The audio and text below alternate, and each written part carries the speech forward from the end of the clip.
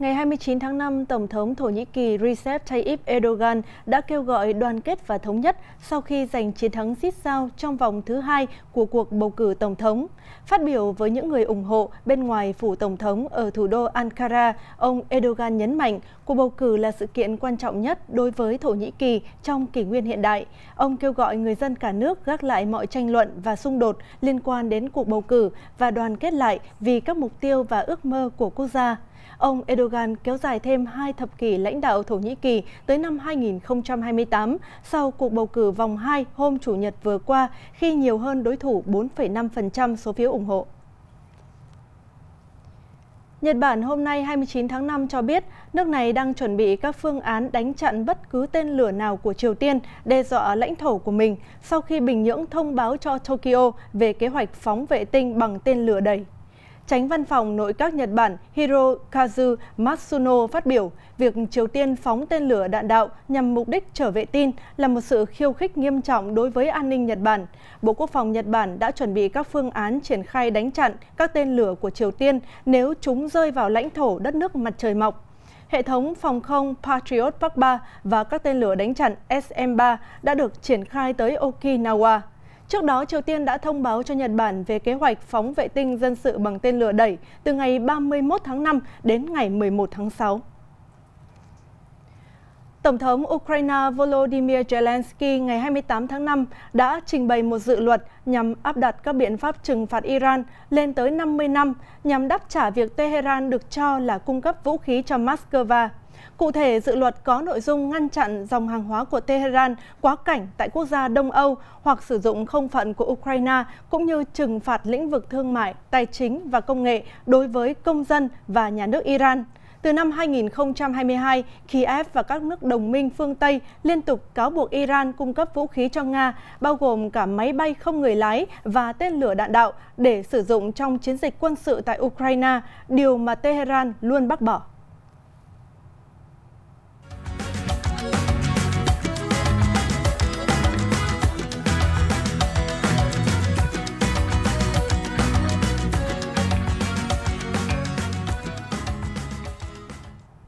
Bức tranh dân số trên thế giới đang chứng kiến những gam màu tương phản rõ rệt.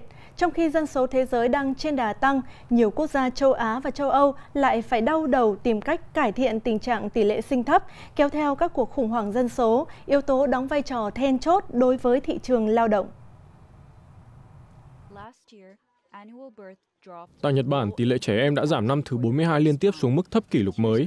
Tính đến ngày 1 tháng 5 vừa qua, số trẻ em từ 14 tuổi trở xuống, bao gồm cả người nước ngoài ở Nhật Bản, là 14,35 triệu, giảm khoảng 300.000 người so với năm trước đó. Theo dự báo của các chuyên gia, đến năm 2070, dân số Nhật Bản sẽ giảm xuống còn 87 triệu người, giảm 30% so với năm 2020. Có ba lý do chính khiến tôi không muốn sinh con, đó là chi phí nuôi con quá đắt đỏ, cơ hội phát triển sự nghiệp mất đi và cuối cùng là cuộc sống của tôi có quá nhiều điều cần ưu tiên hơn việc có con. Ở châu Âu, Italy cũng chung nỗi lo về tình trạng dân số già và tỷ lệ sinh giảm như một số quốc gia châu Á. Số ca sinh của Italy trong 11 tháng đầu tiên của năm 2022 đã giảm 3% so với mức 400.000 trẻ chào đời cùng kỳ năm 2021. Dân số Italy có thể giảm gần 20% trong năm thập niên tới do hệ quả từ tỷ lệ sinh giảm. Tỷ lệ sinh thấp và dân số già sẽ gia tăng lên quỹ lương hưu và chi phí chăm sóc y tế, lực lượng lao động thiếu hụt, theo tôi, nhận thức của người dân về hệ quả của tỷ lệ sinh thấp là chưa đủ. Tỷ lệ sinh cũng không nhận được sự chú ý của các nhà kinh tế bằng các dữ liệu về GDP hay lạm phát, nhưng đây lại là yếu tố có tác động quan trọng đến nền kinh tế trong trung hạn. Một số quốc gia khác lại chứng kiến sự gia tăng mạnh mẽ về dân số. Giữa tháng 4 vừa qua, Ấn Độ đã chính thức vượt Trung Quốc trở thành quốc gia đông dân nhất thế giới. Ai Cập cũng đứng trước nguy cơ tăng dân số quá nhanh, khiến nước này phải tổ chức nhiều chiến dịch truyền thông khẳng định biến dân số thành tài nguyên không phải áp lực cho quốc gia. Cơ sở vật chất giúp con người có một cuộc sống cân bằng, ví dụ như phương tiện công cộng, đường xá, nhà cửa. Dân số tăng quá nhanh sẽ tạo áp lực và nếu không kiểm soát sẽ dẫn tới hậu quả khó kiểm soát. Dân số và sự phát triển xã hội có mối quan hệ khăng khít. Việc xây dựng kế hoạch, chuẩn bị kỹ lưỡng để tạo ra xã hội có khả năng chống chịu tốt với những thay đổi nhân khẩu học là nhiệm vụ quan trọng của mỗi quốc gia, nhằm hướng tới mục tiêu cao nhất là mang lại chất lượng cuộc sống tốt đẹp cho tất cả mọi người.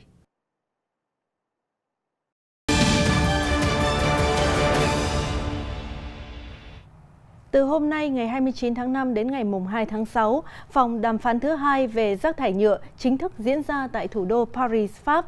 Vòng đàm phán về rác thải nhựa được tổ chức nhằm tìm giải pháp cho cuộc khủng hoảng rác thải nhựa trên toàn cầu.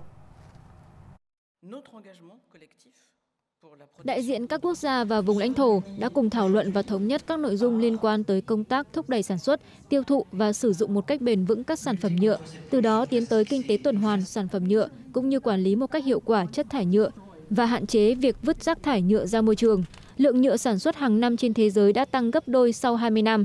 Ước tính khoảng 70% số sản phẩm nhựa bị thải ra môi trường sau khi được sử dụng một hoặc vài lần và chưa đến 10% được tái chế.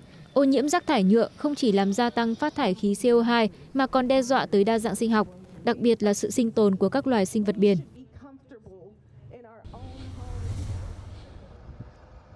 Nước ở một đoạn thuộc kênh đào lớn ở thành phố Venice, Italy, nơi thu hút hàng triệu khách du lịch đến Italy mỗi năm, đã bất ngờ chuyển sang màu xanh huỳnh quang. Ngay sau khi vụ việc được phát hiện, chính quyền Venice đã triệu tập khẩn cấp lực lượng cảnh sát khu vực để thảo luận về tình hình và nghiên cứu các biện pháp xử lý khả thi. Nhiều giả thuyết khác nhau xuất hiện trên mạng xã hội, bao gồm suy đoán màu sắc có thể là do tảo hoặc một chất nào đó được bỏ trái phép vào kênh. Tuy nhiên, tình trạng này khiến người ta nghĩ đến việc các nhóm hoạt động vì môi trường hay nhuộm màu nước các điểm du lịch nổi tiếng để gây sự chú ý. Chuyến tàu đêm đầu tiên nối thủ đô của Bỉ và Đức đã khai trương với hành trình kéo dài hơn 12 tiếng nối liền giữa Bruxelles và Berlin. Việc phát triển tuyến đường sắt này nằm trong xu hướng tiết kiệm năng lượng và giảm khí thải của các quốc gia châu Âu.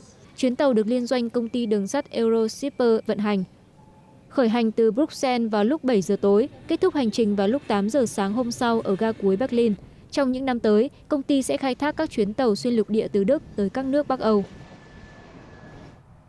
Thưa quý vị, bệnh tả không phải là bệnh đặc hữu ở Nam Phi, nhưng quốc gia này đã ghi nhận một số ca bệnh trong năm nay do bệnh bùng phát ở các nước lân cận như là Malawi, Mozambique.